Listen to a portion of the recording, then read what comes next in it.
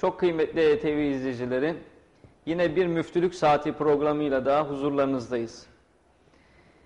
Programımıza her zaman olduğu gibi kelamların en güzeli olan Kur'an-ı Kerim tilavetiyle başlayacağız. Bugün bizlere Kur'an-ı Kerim'i Karaköy Attar Hoca Camii müezzini Şinasi Şimşek hocamız okuyacaktır. Buyurun hocam. أعوذ بالله من الشيطان الرجيم.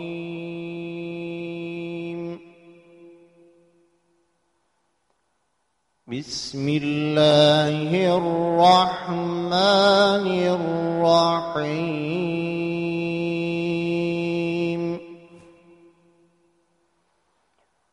إن عدة الشهور عند الله. عشر شهرا في كتاب الله. عشر شهرا في كتاب الله. يوم خلق السماوات والأرض منها.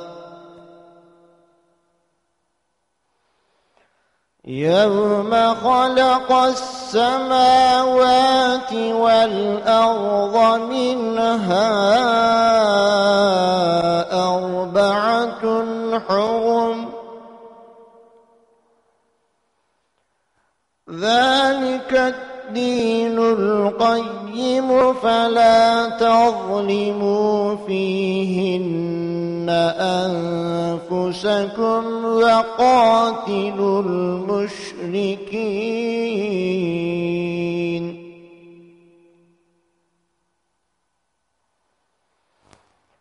وقاتلوا المشركين كافة كما يقاتلونكم كافة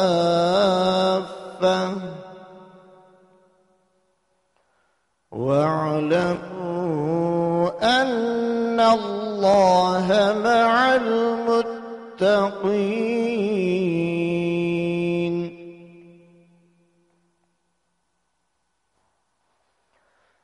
إنما النسيء زيادة في الكفر يضل كفروا يحلونه عاما.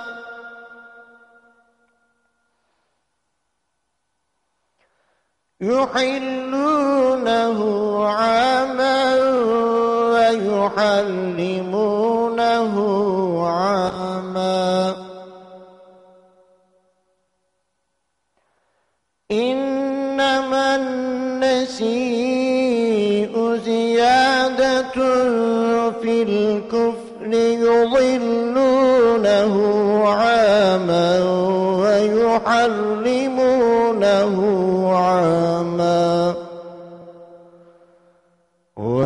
ويحرمونه عاما ليواطئوا عدة ما حرم الله.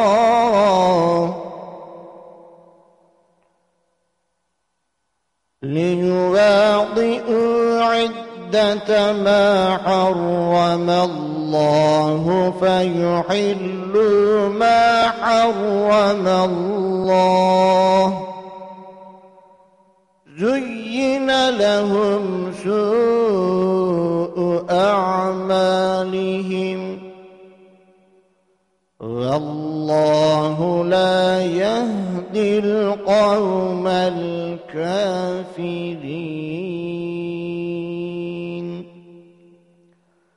صدق الله العظيم.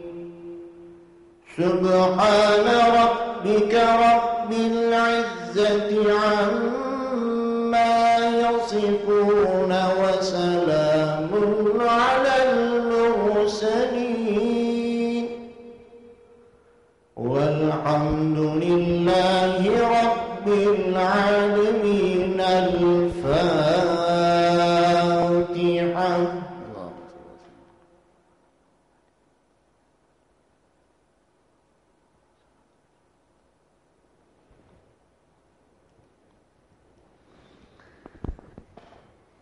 kıymetli izleyenlerimiz Şinasi hocamıza e, çok teşekkür ediyoruz okumuş olduğu kelamdan. Bugün programımızda konumuz Muharrem ayı ve Kerbela. Bu konuda bizimle engin bilgilerini paylaşacak olan İl Müftü Yardımcımız Yusuf Arslan hocamızla beraberiz. Evet. Sayın hocam hoş geldiniz, sefalar getirdiniz. Teşekkür ederiz. Sağ olun. Nasılsınız, iyisiniz inşallah? Çok şükür işte mübarek Muharrem ayı dolayısıyla gelenler gidenler, Hicri yılbaşımızı tebrik edenlerle beraber devam edip gidiyor hayat. Yüce Mevla daha da iyi eylesin inşallah. İnşallah. İnşallah. Sayın hocam Muharrem ayı e, nasıl bir aydır? Ne söyleyebiliriz? Neler Evet. aklımıza gelmeli Muharrem ayı deyince? Doğru. Şimdi e, genelde Muharrem ayı haram olan aylardan birisi. Yani e, dört tane haram ay var. Zilkade, Zilhicce, Muharrem ve Recep. Bu aylardan birisi de haram e, aylardan birisi de Muharrem ayı. Muharrem ayında e, kötülük yapılmaz. Savaş yapılmaz. insan öldürülmez. Ve bunlara çok dikkat edilir.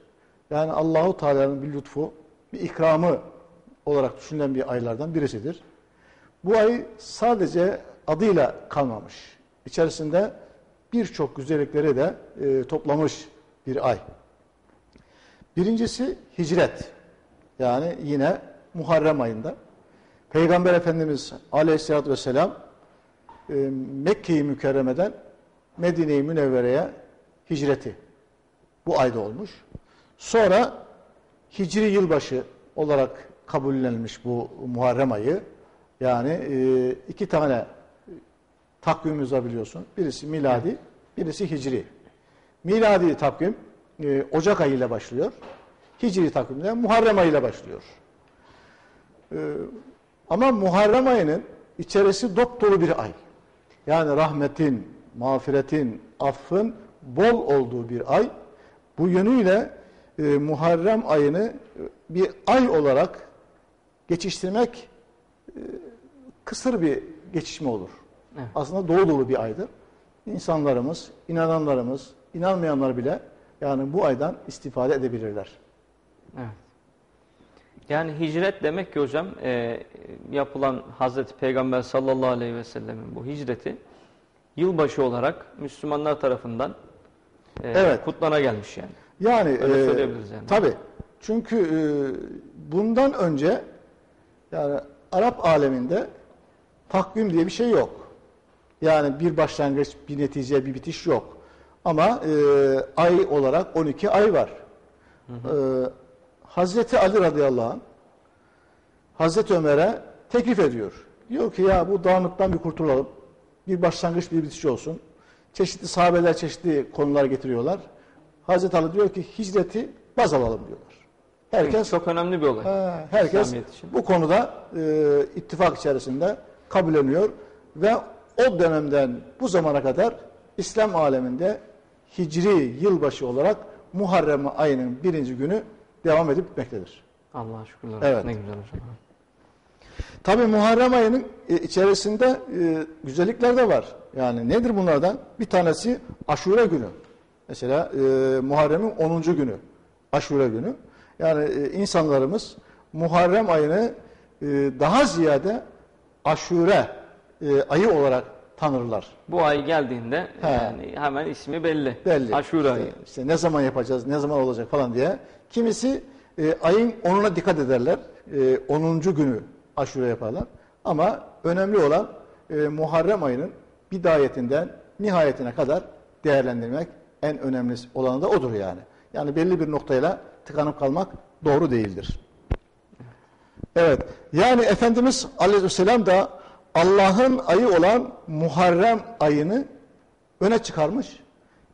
Bir sahabe geliyor. Ya Resulallah bana Ramazan'dan sonra oruç tutabileceğim bir ay söyle diyor. Peygamber Efendimiz Muharrem ayında diyor oruç tut. Çünkü Muharrem ayında tutan orucun fazileti farklıdır. Ramazan'dan sonra en değerli aylardan, en makbul olan oruçlardan birisi de Muharrem ayında tutulan oruçtur diyor Peygamber Efendimiz. Sahabe e, tamam ya Resulallah diyor. Böyle bilgiyi almış oluyor. Yani Peygamber Efendimiz sallallahu aleyhi ve sellem bu ayla e, Evet. güzel bir tavsiyesi var insanlara demek böyle. Evet. İnşallah Rabbim yerine getirmeyi bizlere nasip eder hocam. Çünkü e, Muharrem ayından yani e, içerisinde e, Nuh Aleyhisselam'ın tufanından sonra karaya basması Muharrem ayındadır. İsa Aleyhisselam'ın doğduğu gün Muharrem ayıdır. İlk insan Adem Aleyhisselam'ın e, tevbesinin kabul olduğu ay yine Muharrem ayıdır. E, Çok ciddi, önemli olaylar bunlar hocam. Yani, Yani. hepsinin böyle güzel Yani. bir ayda denk gelmesi. İşte onun için e, alimler ve Peygamber Efendimiz diyor ki e, Muharrem ayı Allah'ın ayıdır diyor. Bu Allah'ın ayında yaptığınız ibadetlerin karşılığını e, çok fazlasıyla bulursunuz diyor Peygamber Efendimiz Aleyhisselatü Vesselam. Bu konuda birçok hadis-i şerif vardır. Bu hadisleri de zamanı geldiğinde anlatmaya çalışırız. Ee, bir başka e, Muharrem ayının önemlerinden bir tanesi de e, 10. günü Aşure günü diyoruz. Öyle yapıyoruz. Peki bazen de soruyorlar bu Aşure nereden çıktı? Nasıl oldu? Evet. Böyle e, halkımızın arasında yayıldı diye soruyorlar. Kültürümüzde çok Yani. önemli bir yer e, Yani. mesele alıyor yani şu an. Ayın önüne geçmiş sayılır yani. değil mi? Evet. Muharrem ayından daha önce o geliyor yani Aşure ayı diye. Yani Nuh Aleyhisselam biliyorsunuz o e, bir Nuh tufanı oldu. E, gemi yaptı. Yaptığı gemi e, yağan yağmurlar neticesiyle yukarı doğru kalktı ve ondan sonra karaya oturdu. Ne zaman? Yine Muharrem ayında Cudi Dağı'nın tepesine kimisi eteğine diyor, kimisi tepesine diyor ama Cudi Dağı'na oturduğu ifade edilmektedir Nuh Aleyhisselam'ın. Tabii Nuh Aleyhisselam'ın gemisi karaya e, oturduğu zaman herkes e, Allah'a şükrediyorlar. Yani her şey öyle yani insan havada da uçsa, denize de gitse ama illa kara diyor ya. Niye kara daha güvenli diye düşünüyorlar herhalde ki. Nuh Aleyhisselam da karaya ayak basınca demiş ki Allah'a şükür edelim bir oruç tutalım demiş. Şükür orucu diye. Sonra e, iftar yapılacak. Demiş ki e, herkesin yanında, torbasında, kesesinde ne varsa e, yiyecek getirsin demişler. Şu kazana koysun demişler. Nuh Aleyhisselam diyor bunu. Herkes getirip ne varsa getiriyor, kazana koyuyorlar.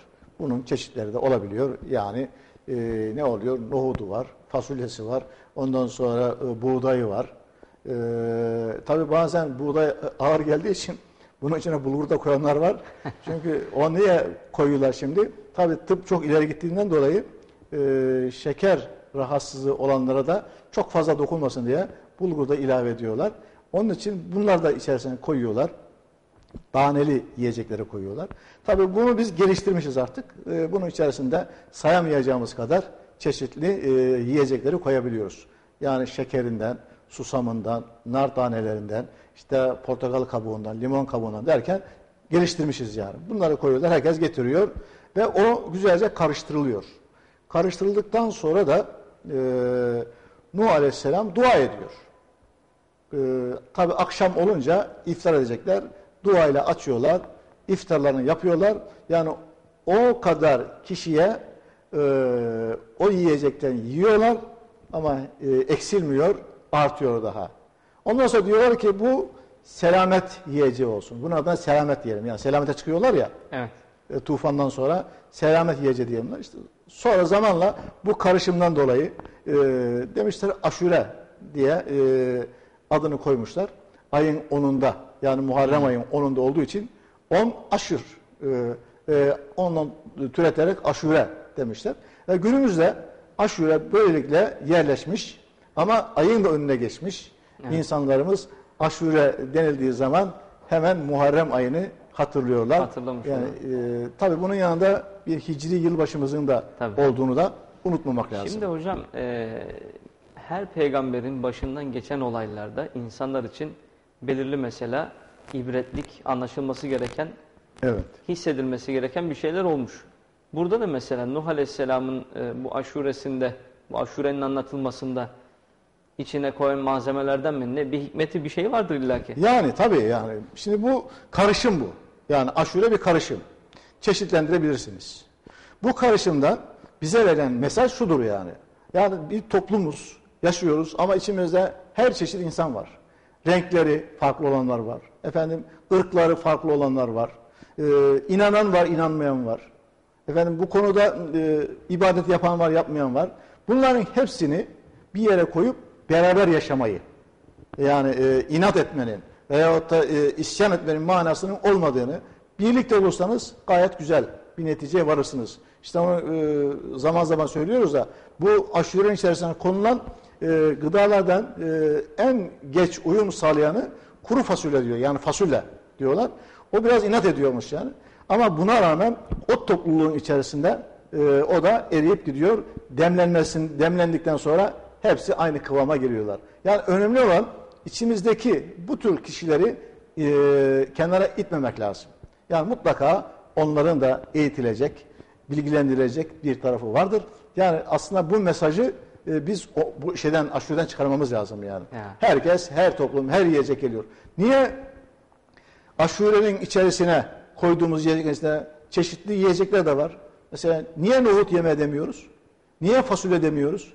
Niye efendim e, e, buğday yeme demi- demiyoruz? Niye şeker yeme de- demiyoruz? Selamet yemeği. Ha, çünkü bunların hepsi birleşmiş aşure olmuş. Evet. Yani biz de aramızda, evimizde, hanemizde, yakınlarımızda bu bana benzer e, bizim istediğimiz kıvama gelemeyenler olursa isyan ettirip devam ettirmek değil, onları ıslah edip e, o potaya koymaktır. Zaten Cenab-ı Hak da Kur'an-ı Kerim'de öyle diyor. İnnemel müminune ihvetun. Bütün müminler kardeştirler. Yani bu kardeşlik kan kardeşliği değildir. Karın kardeşliği de değildir. Bu kardeşlik iman kardeşliğidir. İslam kardeşliğidir. Müminin kardeşliği budur. Peki bu müminler ne yapacaklar? فَأَصْلِهُ بَيْنَ اَخَوَيْكُمْ Kardeşlerinin arasındaki e, olumsuz şeyleri ıslah edecekler. Yani onları daha fazla isyana, daha fazla e, inkarcıya sürüklemeyecekler. Islah edecekler. Dedikodu, gıybetini bir kenara bırakacaklar. Ona insanca, Müslümanca e, bir muamele edecekler. İyi yönlerini, Ha, güzel yönlerini görerek. Aradaki e, uçurumu kaldıracaklar, ıslah edecekler. Vettekullaha leallekum turhamun. İşte o zaman Allahu Teala bunlara merhamet eder. Bu merhametten dolayı da bizim e, pişirmekte olduğumuz aşuremizde kıvamını, demini alır. İnşallah hocam. Yani Yani alınması gereken asıl mesajı hakikaten şu ayda almak lazım. yani. yani Bu aya vurgusunu yapıyor elhamdülillah. evet yani e, zaman zaman insanların e, üstesinden gelemediği noktalar da olabiliyor. Nedir bunlardan bir tanesi de? Sadi Şirazi diyor. Zamanın değerlendirilmesi konusunda en zor üç şey nedir diye sormuşlar. Sadi Şirazi'ye. O da demiş ki üç şeyden bir tanesi sır saklamak. Bugün sır saklayamıyoruz. Evet. Hatta bize birisi bir sır verdiği zaman onu en kısa zamanda nasıl ulaştırırız onun hesabını yapıyoruz yani. Halbuki sır saklanır. Sır ifşa etmek için değildir. Sırrı e, aldığınız zaman bir sır verildiği zaman o sır ister olumlu olsun ister olumsuz olsun eğer e, anlatıldığı zaman insanlar arasında fitne fesat çıkarmayacaksa ölümüne kadar mezara kadar gitmesi lazım o sırrın. Yani sır saklamak önemlidir. Bizim dinimizde önemlidir. Yani onun için Peygamber Efendimiz kötülükleri insanlara aktarmayın. Kötü olanları ifşa etmeyin. Olur ki ifşa ettiğiniz o kötülükten birisi faydalanmaya çalışır. O zaman da ifşadan dolayı size de o yapılan her kötülükten bir günah yazılır. Onun için sırrı saklamak en önemlisidir. Ne olursa olsun. Ha iyiliği anlatın. Hayrı anlatın. Hasenatı anlatın.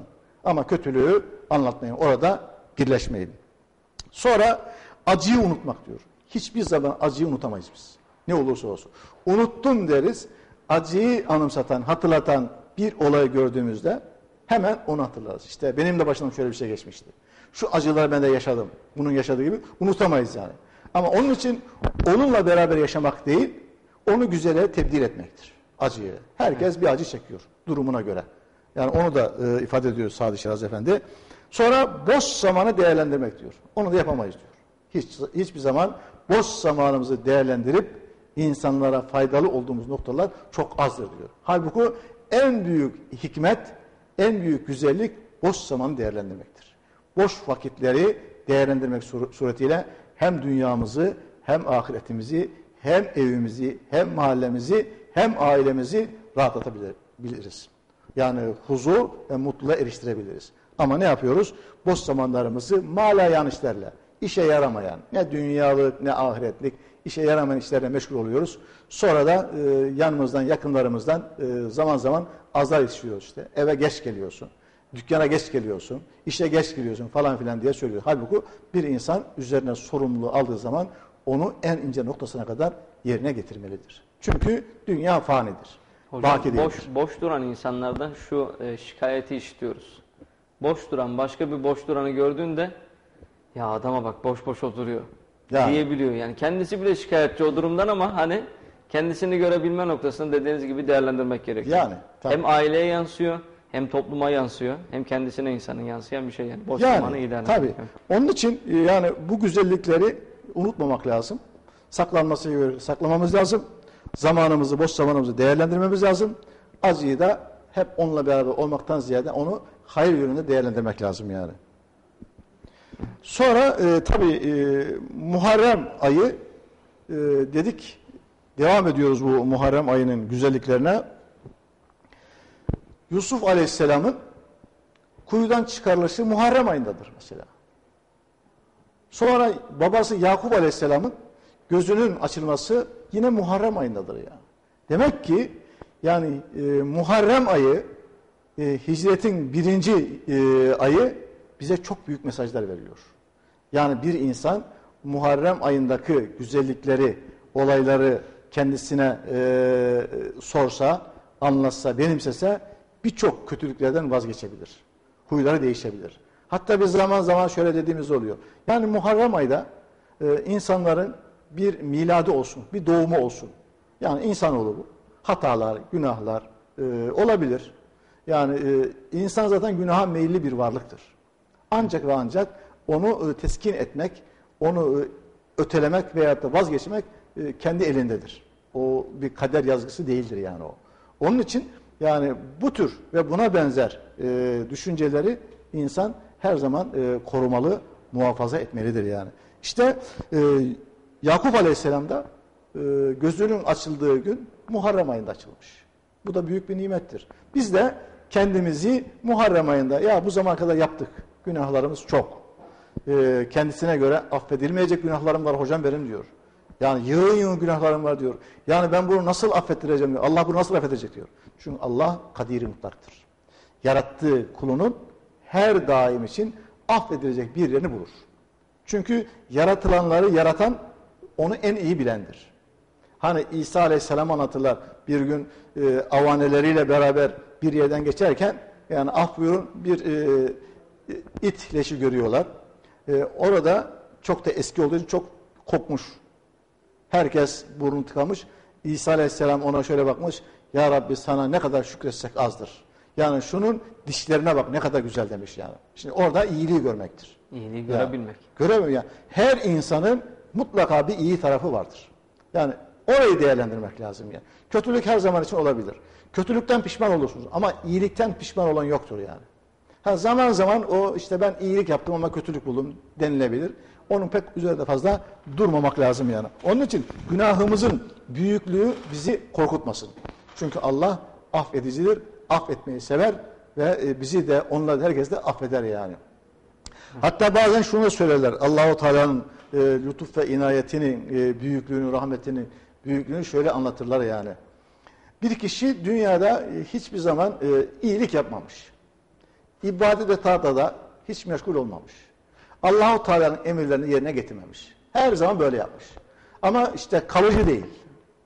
Yani bir gün hak vaki olmuş, vefat etmiş. Ee, te- terazide e, günahları, sevapları tartılıyor. Demişler ki bunun günahı çok. Bunun gideceği yer cehennemdir. Cenab-ı Hak bu kulumun demiş şeyleri bir tartın bakalım. Sevaplarını, günahlarını. Ya Rabbi bunun hiç sevabı yok. Bunun gideceği yer bellidir. Ona demişler ki seni artık cehenneme götürüyoruz yani. Senin amellerin buraya e, girmeni, buraya gitmeni istiyor demişler yani. Kim dedi bunu demiş yani. Yani bunu size söyleyen kim? Beni cehenneme e, bunu cehenneme götürün diyen kim? Demişler Allahu Teala dedi. Baktı ameller şunlar bu yok. Demiş ya Allah mı dedi bunu demiş yani. Bunu, bu kulunu cehenneme götürün Allah mı demiş. Evet diyor melakeler.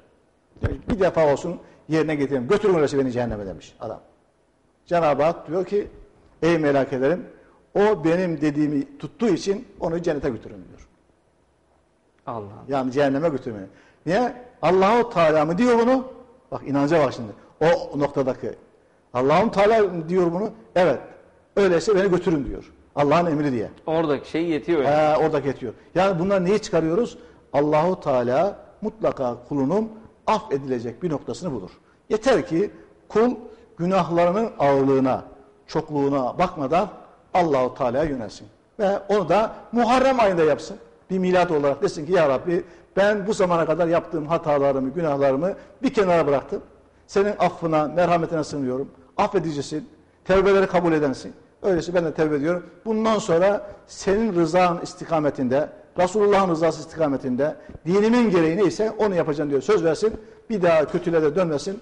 O e, tertemiz olarak yeni bir hayata başlamış gibi yeni milat olarak yoluna devam eder. Hocam şimdi mesela yeni milat, yeni başlangıç falan e, gelişmek isteyen şirketler genelde yıl sonu geldiğinde işte bu sene ne yaptık, nerelerde hata yaptık, nerelerini güzel yaptık, geliştirmek için kendimizi daha ne yapmalıyız diye düşünüyorlar ya. Evet. Şimdi aynı onu milada dediğiniz gibi mesela hani e, Muharrem ayının başına çekebiliriz. Yani Yani. ben geçtiğimiz seneden bu zamana kadar ne yaptım? Ne güzellikler, ne hayırlar işleyebildim, ne kadar ibadet yapabildim. Yani. Bundan sonra ne yaparım ki daha ileri gidebilirim gibi dediğiniz gibi hocam. Yani Cenab-ı Hak yarattığı kulunun affedilecek, bağışlanacak zaman dilimleri de e, ikramda bulunmuş. Mesela bunlardan birisi Muharrem ayı, Recep ayı, Şaban ayı, Ramazan ayı ve burada beş tane geceler var. Efendim Regaib gecesi, Miraç gecesi, Berat gecesi, Kadir gecesi, Mevlüt Kandil gecesi, efendim Cuma geceleri, ve Kurban Bayram geceleri bunlar bizim hayatımızda dönüm noktalarımızdır. Yani hani trafikte vardır ya kırmızı ışık, yeşil ışık, sarı ışık. Aynı bunun gibidir yani.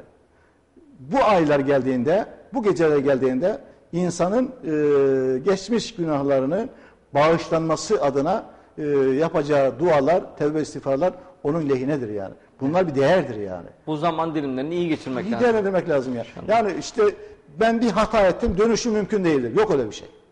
Yani hatadan her zaman dönmek önemlidir yani. Yani Efendimiz e, buyuruyor, bir kimse kötülüğe niyet etse, yapmasa bir sevaptır diyor. Bak. Kötülüğe niyet ediyor, He. yapmıyor. Yapmıyor. Sevap kazanıyor. Tabii ben şuna bir zarar vereyim diyor. Öldüreyim, yaralayayım, şunu bunu yapayım diyor. Yola çıkıyor. Onu icra etmeden diyor ki ya boş ver vazgeçtim ben bu işten diyor. Allahu Teala ona bir sevap veriyor. Ha bir iyiliğe niyet ediyor. Niyet ettiği iyiliği yerine getiriyor. Buna da on sevap veriyor. Ha bu sevapların arttığı zamanlar var işte. Ee, Muharrem ayında hadsiz, sınırsız bir sevap veriliyor. Kadir gecesinde sınırsız bir sevap veriliyor. Ramazanda, Şaban'da, Recep'te, mübarek gecelerde sınırsız sevaplar var. İşte bunlar bizim hayatımızda dönüm noktası olduğunu bilmeliyiz. Onları zaman zaman yaptığımız hataların karşılığında iple çekip ben bugün bu gece dua edeyim, gece namazı kılayım, işte Rabbime karşı vazifemi yerine getireyim diye e, yapması veyahut da onları takip etmesi gerekir yani. Yani Yüce Mevlamız rahmetini nasip edecek, cennetini nasip edecek bizim için e, elinden geleni yapmış yani. Evet yani. Her yere fırsatlar, her yere sevaplar.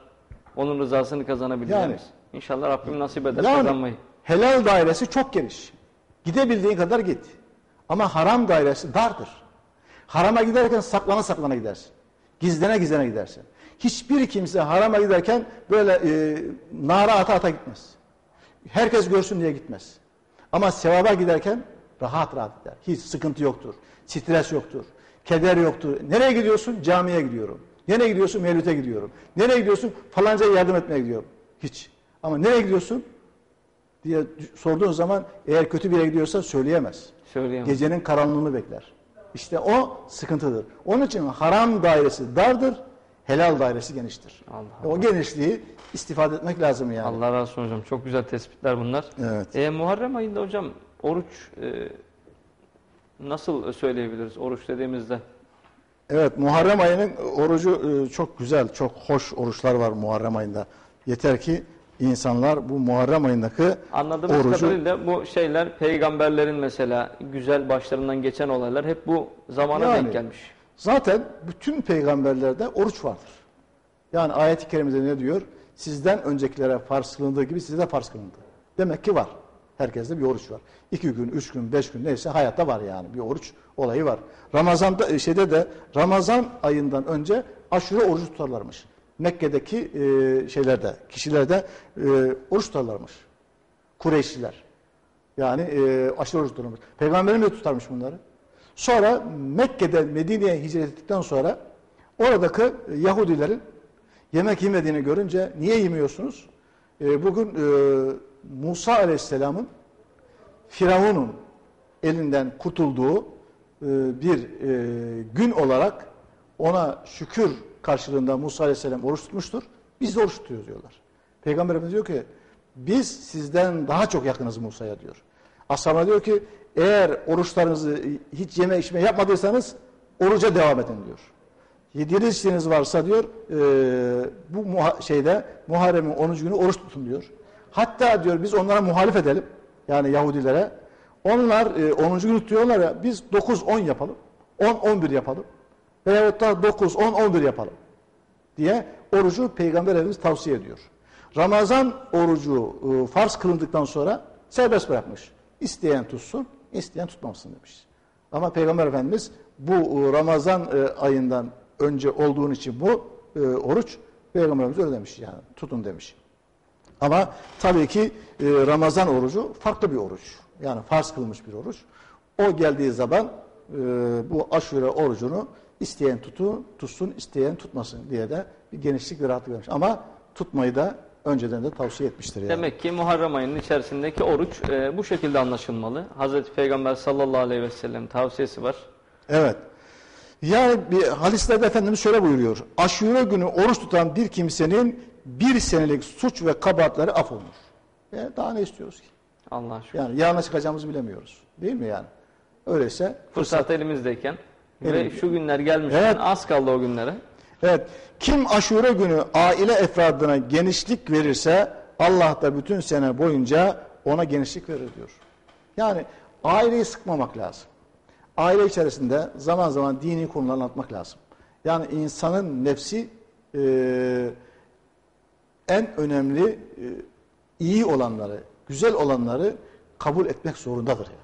Nefis bunu kabul eder. Çünkü e, nefsin istediği her şey bizi sıkıntıya sokabilir. Onun için bir e, alime demişler bu mertebeye nasıl geldin? Nefsimin istediklerini ret ettim. Onu, ondan dolayı bu mertebeye geldim demiş yani. Çünkü nefis iyi şeyler istemiyor yani. Onun için her nefsin istediğini yerine getirmeye çalışırsak rahat edemeyiz. Bazen ruhun istediği vardır. Nefisle ruh farklı şeydir. Ruh Allahu Teala'ya olan kulluk yerine getirildiği zaman mutmain olur. Ama nefis ise e, insanların hoşlanmadığı, meleklerin hoşlanmadığı, Allah'ın ve Resulullah'ın razı olmadığı e, şeyler yapıldığı zaman onun hoşuna gidiyor nefsin. Onun için ne yapmamız lazım? Nefsimizin dediğini yerine değil, e, ruhumuzun zaman zaman istediğini yerine getirmek. Çünkü ruha verilen şey kalıcıdır. Nefse verilen şey geçicidir.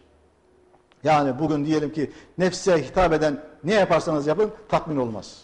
Dahasını, dahasını, dahasını.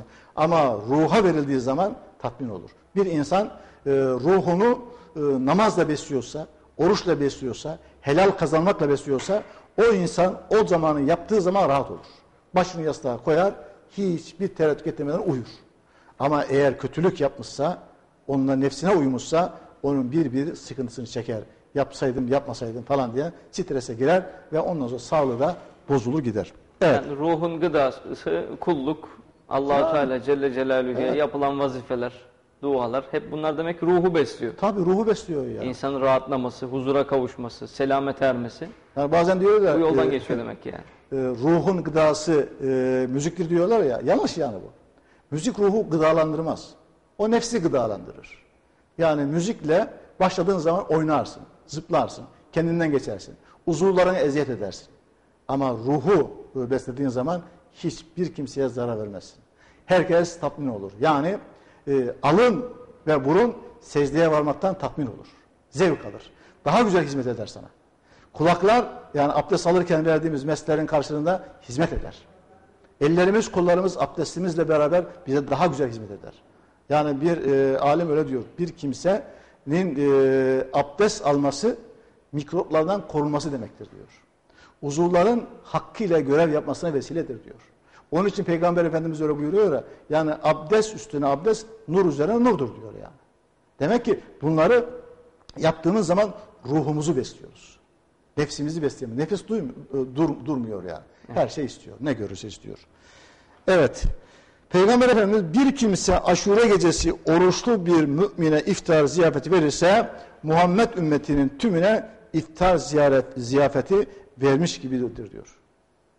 Bir başka yerde de yine Peygamber Efendimiz öyle buyuruyor. E, Muharrem ayında bir kimse bir yetimin, bir yoksulun, bir öksüzün, bir muhtacın diyor ihtiyacını giderir, onun başını okşarsa Allahu Teala onun saçları adedince günahlarını bağışlar, ruhunu genişletir ve onun hayatını bir düzene sokar diyor. İşte yani en büyük nimet. Ne zaman? Muharrem ayında. Biz neredeyiz? Muharrem ayındayız. Öyleyse hazır kapımıza gelmiş olan bu ayı boş geçirmemeye gayret etmemiz lazım. İnşallah Rabbim hocam dolu dolu geçirmeyi nasip eylesin. İnşallah. Böyle güzel güzel. Allah razı olsun. Evet yani e, Muharrem ayının içerisinde bunlardan bir tanesi de nedir? Dedik e, Kerbela'dır dedik. Kerbela evet. Yani Kerbela gerçekten e, çok sıkıntılı bir an. Yani zaman zaman bunu duyduğumuzda bir hayat hikayesini, menkıbesini okuduğumuz zaman yani yüreklerin burkulmaması, yani vücudumuzdaki tüylerin diken diken olmaması düşünülemez yani. Çünkü e, orada bir ihanet vardır her şeye rağmen. Yani Resulullah sallallahu aleyhi ve sellem Efendimiz dünyadayken en çok sevdiği iki torundan birisidir Hazreti Hüseyin Efendimiz. Hocam şimdi bu güzelliğe hakikaten böyle çok böyle ciddi kulaklarımızı açıp dinlemek lazım yani. Yani. Burada oradaki o sıkıntının sebepleri ne?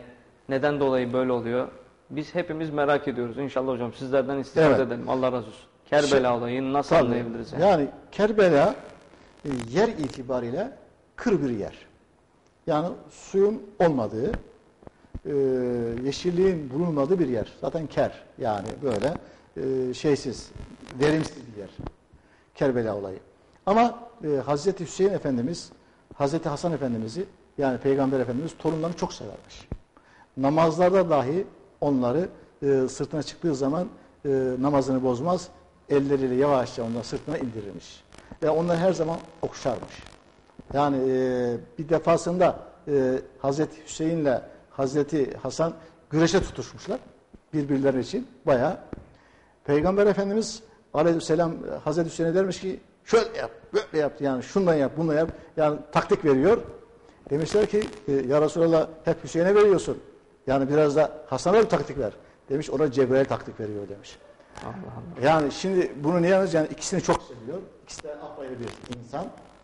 Peygamber Efendimiz'in en çok sevdiği torunlardan Hazreti Hüseyin radıyallahu anh'ın e, işte belki son demlerinde olsa gerek yanında çağırmış. Güzelce her tarafını okşamış, sevmiş, öpmüş. e, öyle yapmış yani Efendimiz aleyhisselatü vesselam. Yani Hazreti Hüseyin'in böyle bir güzelliği var. Çok e, temiz bir e, kişi, e, insanlara yardımcı olan bir kişi, isyan etmeyen, her zaman e, iyi davranan, iyilik mesajları veren bir kişi Hazreti Hüseyin Efendimiz'de. İşte e, Muaviye'den sonra e, halifeli Yezid alınca Yezid Kufe'de e, çok büyük e, zulümler etmeye başlamış. Kufe halkına. Çok büyük zulüm etmeye başlamış. Bu zulümlerin neticesinde Kufeliler de bıkmışlar artık. Hazreti Hüseyin'e bir yerde okumuştum. Diyor ki 18 bin mektup göndermişler. Kufe'de halk. Diyorlar ki bize e, zulmediyor. Gel bu e, halifeli al e, bizi de bu zulümden kurtar diye 18 bin. Bu gelmeden önce de Hazreti Hüseyin Efendimiz Medine'den Mekke'ye doğru gitmiş. İşte bu mektuplar da gelince oradan artık e, 70 küsur kişiyle beraber e, Kufe'nin yolunu tutuyorlar. O zulme engel olmak için. Yani o zulme engel olmak için. insanların e, o feryatlarına, gözyaşlarına e, bir nebze olsun dindirmek, onlara yardımcı olmak için bu gayreti sarf etmek üzere yola çıkıyor yani. Tabii çoluk çocuk var, herkes var. Gidiyorlar. Ama her konakladığı yerde Yezid şey gönderiyor. e, bir ekip gönderiyor. Diyor ki e, Kufe'ye gelme. Gelirsen Yezid de seni öldürecek, katledecek. E, gelme diye e, ulak gönderiyor. Onların bir kısmı gel diyor, bir kısmı gelme diyor. Bu o arada Hazreti Hüseyin Efendimiz de yola devam ediyor. Diyor ki ilahi takdir neyse o olur diyorlar. İşte Kerbela'ya vardıklarında artık orada konaklıyorlar. Konakladıktan sonra da e, Yezid'in e, ordusu oraya geliyor. Ve yanı başında Fırat Nehri olmasına rağmen çok yakınında yani o 70 küsür kişiye bir yudum su vermedikleri gibi Fırat'a gitme, e, göndermiyorlar yani. Susuz, o çöl. Yani o sıkıntılı bir dönemde böyle bir e, hayatı yaşatıyorlar. Çoluk çocuk, e, küçük bebekler de varmış çadırlarda. Onlar dahi susuzluktan böyle kıvranıyorlar. İşte zaman zaman e, anlatıyorlar. Kumu deşerlermiş. Kumun altında serin bir yer bulduğu zaman karınları üzerine, sırt üzerine, yüzleri üzerine oraya başlarını koyarlar, karınlarını serinlemeye çalışırlarmış. Böyle bir zulüm yani bu. İşte e, tekrar orada Yezid'in e, şeyler kumandanlar diyor ki teslim oluyorlar. E, yani Yezid'e tabi oluyorlar Hazreti Hüseyin Efendimiz'e. O da kabul etmiyor. Kabul etmeyince birer birer yanındaki yakınlarını, çoluklarını, çocuklarını e, oklarla e, öldürmeye, katletmeye başlıyorlar. Yani 10 gün sonra artık e, Hazreti Hüseyin Efendimiz kalıyor. Hazreti Hüseyin Efendimiz diyor ki Yezid'e tabi ol. Diyor ki katiyen tabi olmam diyor. Öyleyse işte e, ona da 30 küsur ok isabet ediyor. Ve ondan sonra birisi e, ifade tabi o, o kadarını tam bilemiyoruz ama e, başını gövdesinden ayırdı diyenler var. Ayrılmadı diyenler var. İşte çeşitli orada söylentiler vardır ama biz şunu söyleyelim.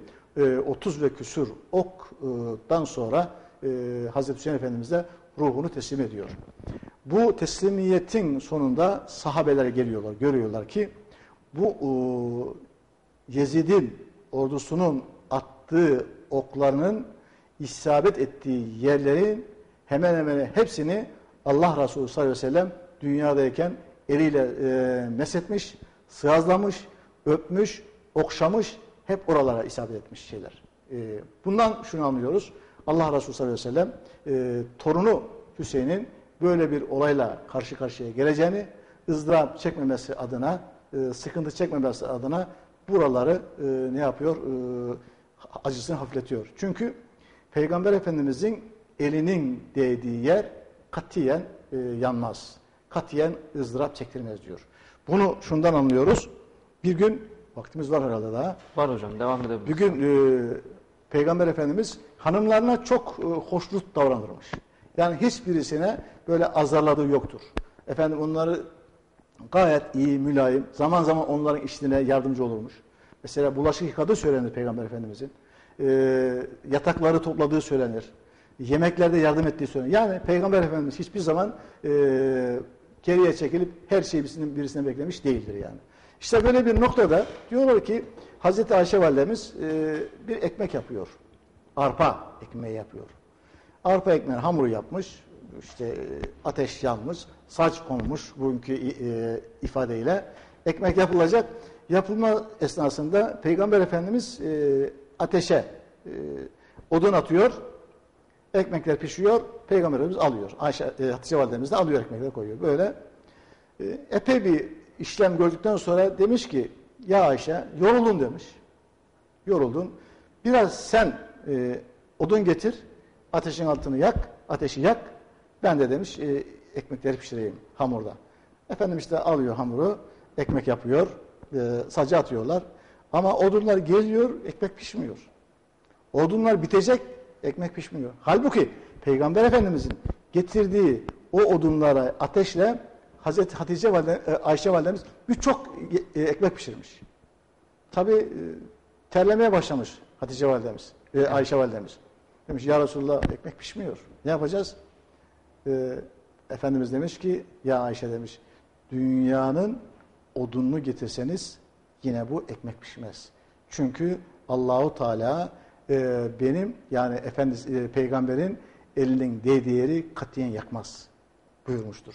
Yani Hazreti Hüseyin Efendimizin demek ki İşte ızdırap çekmemesi için daha önceden yaptığı bu muamele karşılığında Hazreti Hüseyin Efendimiz bu e, sıkıntıları yani e, tabi bizim bilgimiz dahilinde yani o kadar acı duymamış olabilir yani. Ama e, o okların getirdiği sıkıntılar, verdiği acılar elbette ki e, bir şeyi vardır yani ağırlığı vardır yani. Onun için Kerbela olayı bizim dinimizde e, önemli bir noktadır. Allahu Teala bu insanlara, bu millete e, hatta dünya milletlerine böyle bir Kerbela olayı e, göstermesin. E, yani çok önemli bir nokta yani. Çünkü etrafımızda insanları görüyorsunuz. İnsanlar çok acımasız. Evet. Yani bu insanın acımasızlığı kadar hiçbir varlıkta, hiçbir mahlukatta o kadar merhametsizlik yok. Yani bütün mahlukatın merhameti var ama insanoğlunun kalbindeki iman çıktıktan sonra Allah sevgisi, peygamber sevgisi çıktıktan sonra o en vahşi hayvanlara rahmet okutacak kadar da gaddar oluyor yani. Yani bunu şundan e, anlıyoruz. Bu e, Sırbistanların, Sırpların yaptığı işkenceler vardı Müslümanlara oradaki. Müslümanlara şöyle diyorlardı. Ben onu okumuştum. E, Müslümana bir lokum gibi, yiyecek gibi şeyi ağzına attırıyorlar. Halbuki o bir patlayıcı madde. Eline tutuyorlar ve ağzını fitilinden ateşliyorlar. Midesinde patlatıyorlar. Kim yapabilir bunu? Yani bir insanın yapacağı bir iş midir bu yani? Mümkünatı yoktur. Ama insanoğlundan kalbindeki iman, Allah sevgisi, peygamber sevgisi alındığı zaman insan bu hale geliyor yani. Evet. Onun için Kerbela olaylarını Cenab-ı Hak bu millete, bu insanlığa bir daha tattırmasın diye dua ediyoruz. Amin hocam inşallah. Hocam programımızın sonuna doğru geldik. Öyle son bir mesajınız varsa e, böyle güzel Allah Evet. sizden Allah razı olsun. Kerbela e, Sohbet deyince e, aklımıza e, Suriye geliyor. Evet. E, işte e, Irak geliyor. Yani Müslümanların çile çektiği yerler geliyor. Bu çile çektikleri zaman her zaman ekranlara baktığımızda o gözyaşlarını, o açlıkla sefaletleri e, gördüğümüzde gerçekten insanın e, kalbi dayanmıyor. İnsanlar e, ölüm pahasına olsa bir kurtuluş için, zulümden kaçış için denizlerde boğuluyorlar. İnanmayan insanların e, orada botlarını batırıyorlar ölsünler diye. Kendilerine e, mültecileri kabul etmiyorlar. Böyle bir zaman dilimi içerisinde yaşıyoruz. Yani Avrupa'nın hepsindeki e, mülteci bizim sadece Kilis'teki mültecimiz kadar değil. Yani çok az. Ama buna rağmen e, Türkiye'miz, şu güzel vatanımız bu e, Irak'taki, Suriye'deki, Afganistan'daki ve daha değişik e, ülkelerdeki Müslümanlara kapılarını açıyor ve onlara giriyorlar, onlara bakıyorlar, onlara hizmet ediyorlar. Bu güzel bir şey. Niye? Onların dayanacakları, onların girecekleri, onların kurtuluş erecekleri bir yer var, bir mekan var. Ama acı olan şudur, Allah korusun. Yani Türkiye böyle bir hale geldiği zaman Suriye gibi, Irak gibi daha değişik ülke, Müslüman ülkelerindeki durum başlarına geldiğinizde, geldiğinde bizim gidecek yerimiz yok. Bizim kaçacak yerimiz yok. Kim bizi kavrayacak? Kim bizi muhafaza edecek? Irak mı? Suriye mi? Sovyetler Birliği mi? Efendim daha değişik ülkeler mi? Hiçbirisi almaz. Çünkü e, dünya artık yavaş yavaş e, şeye gidiyor. E, tek grup haline gelmeye başlıyor. Bu grupların içerisinde Türkiye vardır. Yani e, Sovyetler Birliği, Amerika Birleşik Devletleri, Hindistan, Çin ve Türkiye. Onun için bu dört tane ülkenin içerisine Türkiye'nin girmesini hazmedemeyen birçok devletler vardır. E, bu devletlerin karşılığında bütün istekleri, arzuları Türkiye'yi ezelim, Türkiye'yi muhtaç bir hale getirelim ve onları e, bir Suriye gibi, bir Irak gibi ve değişik ülkeler gibi hale sokalım da büyümesinler, gelişmesinler, onlara da hükmedelim diye çaba ve gayret içerisindedirler. Buna bu oyuna gelmeyelim. Çünkü bu oyunlar bizim üzerinde oyn- oynandığı zaman bizim gidecek yerimiz yok. Onun için birliğimizi, beraberliğimizi muhafaza edelim. Dedikodulara, gıybetlere de pek yönelmeyelim. Yani bu vatanın içerisinde yaşıyorsak, bu bayrağın altında yaşıyorsak, bu TR'nin e, plakasını taşıyorsak e, ona göre sahip çıkmamız lazım. Türkiye bir. Başka bir Türkiye yok. İnşallah hocam. Evet. Bu duygu ve düşüncelerle Muharrem ayımızın hayırlar getirmesini, aşuremizin hayırlar getirmesini, Hicri yılbaşımızın da hayırlar getirmesini Cenab-ı Hak'tan niyaz ediyorum. Allah razı olsun hocam. Çok teşekkür ederiz. Çok kıymetli izleyenlerimiz bu hafta yine bir müftülük saatinin daha programının daha sonuna gelmiş olduk. Beraber program yaptığımız Sayın Yusuf Arslan hocamıza, il müftü yardımcımıza çok teşekkür ediyoruz sizlerin huzurunda. Allah razı olsun Rabbim inşallah Muharrem ayını en güzel şekilde değerlendirebilmeyi, bu yılın günahlardan kurtuluşa ve sevapların daha çok kazanılmasına vesile olmasını Rabbim niyaz ediyoruz. Rabbimizden niyaz ediyoruz. Rabbimiz kabul eylesin inşallah. Günümüz hayırlı, ömrümüz bereketli olsun. Allah'a emanet olun. Sağlıcakla kalın.